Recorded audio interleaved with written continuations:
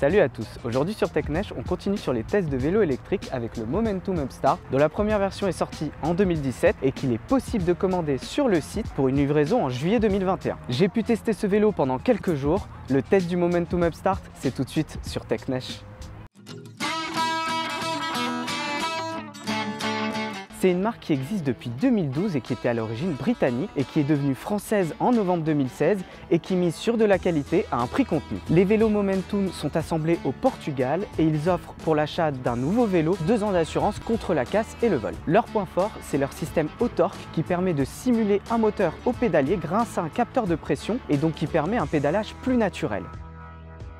1295 euros, c'est le prix de ce vélo électrique et à ce prix-là, il est tout équipé. Déjà, il a des garde-boue en aluminium, il a une sonnette que j'ai trouvée très facilement accessible et surtout très sonore, donc on est bien entendu des autres utilisateurs. Des feux qui sont connectés à la batterie, je les ai trouvés un peu faibles, mais c'est suffisant pour être vu des autres utilisateurs de la route. Une béquille, un porte-bagages et en plus deux ans d'assurance, comme je l'ai dit juste avant, contre la casse et le vol. Gros avantage aussi de ce vélo, c'est qu'il a un moteur sur la roue avant de la marque Bafang, qui est une excellente marque chinoise, couplé avec un capteur de pression, donc qui permet de simuler un pédalage naturel. C'est leur fameux système au torque. C'est très rare à ce prix. D'habitude, on a des moteurs roue avant ou roue arrière, mais avec un capteur de rotation, donc déjà avec un pédalage moins naturel et surtout qui se déclenche qu'après une rotation du pédalier, donc pas tout de suite. C'était par exemple le cas avec Shift Bike que j'ai déjà testé sur ma chaîne. Pour l'avoir testé quelques jours, j'ai vraiment été impressionné par ce système. Il est très convaincant pour le prix proposé. J'ai pris beaucoup de plaisir pendant ce test à rouler avec ce moment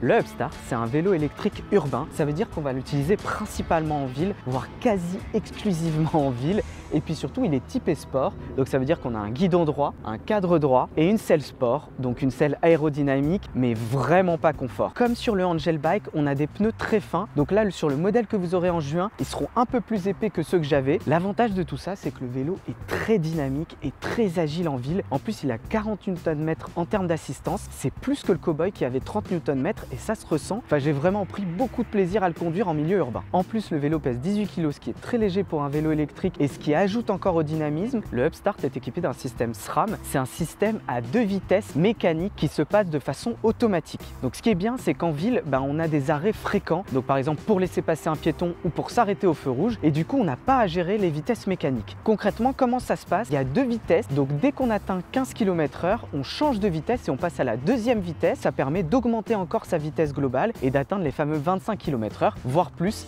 si on donne des boucles de pédale. En plus de ces vitesses mécaniques, on peut régler l'assistance qu'on donne au niveau du moteur avec trois niveaux différents. Donc perso, j'utilise surtout le niveau 2 sur 3 parce que c'est un niveau qui permet d'avoir un très bon dynamisme et de rendre le vélo très punchy. Le système SRAM proposé par Momentum a un inconvénient par contre, c'est le passage à la deuxième vitesse qui donne un léger à-coup. Alors c'est minime et surtout bah, on finit par s'y faire, mais ça enlève légèrement je trouve à la fluidité du pédalage par rapport justement au Cowboy ou à Wish où là bah, c'est totalement fluide. L'inconvénient aussi de ce système je trouve c'est qu'il y a une grosse résistance sur la première et la deuxième vitesse qui veut dire qu'on doit donner un bon coup de pédale pour pouvoir augmenter sa vitesse. Donc pour ceux qui voulaient pas faire du sport, bah, c'est raté. Avec ce vélo il y a vraiment un côté sportif même dans le pédalage. Avec la selle et le guidon qui sont fournis de série, on encaisse tous les chocs. C'est vraiment pas du tout Donc avec la pavée ça risque vraiment de piquer. Je peux vous dire qu'après quelques trajets, bah, je commençais vraiment à avoir mal aux fesses. Si vous cherchez le confort, c'est pas du tout sur ce modèle qu'il va falloir s'orienter, mais plutôt vers le modèle T qui a l'air d'être plus confortable que ce Upstart. Il faut bien veiller à allumer l'assistance électrique avant de monter sur le vélo ou avant de donner un coup de pédale pour que l'assistance soit parfaitement calibrée. La batterie est évidemment amovible et elle a une autonomie entre 45 et 80 km en fonction du niveau d'assistance que vous utilisez et de votre poids. Et puis détail qui m'a franchement beaucoup plu pour avoir eu des vélos électriques, pour avoir eu du mal à chaque fois à transporter la batterie à la main, c'est qu'il y a une anse sur la batterie, donc elle est très facilement transportable. Si vous souhaitez avoir un freinage plus efficace que ceux qui sont proposés de série, vous pouvez commander les freins à patins e-bike Resist et si vous le faites dès la commande et que vous faites livrer en magasin, ils seront en plus montés gratuitement. Si vous voulez mieux amortir les chocs, Momentum propose aussi de changer votre guidon contre un guidon carbone qui sera plus léger et qui amortit amortira mieux les chocs.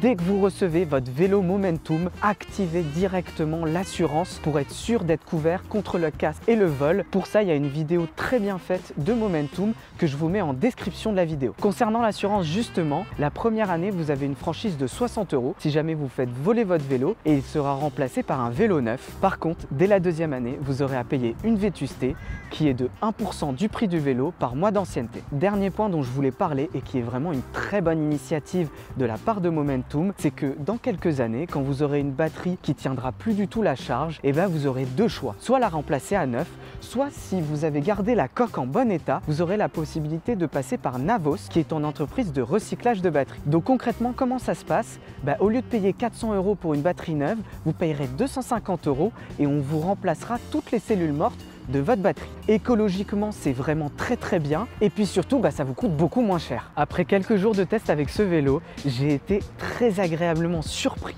de la qualité proposée par Momentum à un prix de 1295 euros. À ce prix-là, si c'est votre budget et que vous recherchez un vélo électrique urbain, à ma connaissance, c'est l'un des meilleurs compromis que l'on puisse trouver sur le marché et sur ce segment de prix. Mon test du Momentum Upstart, c'est terminé. Si vous avez aimé ma vidéo, n'hésitez pas à mettre un pouce vers le haut qui se trouve juste en bas de la vidéo. Sinon, vous me le faites savoir en commentaire. La prochaine fois, on aura toujours plus de technologie, mais surtout de mobilité urbaine. En attendant, je vous dis à bientôt sur TechNesh.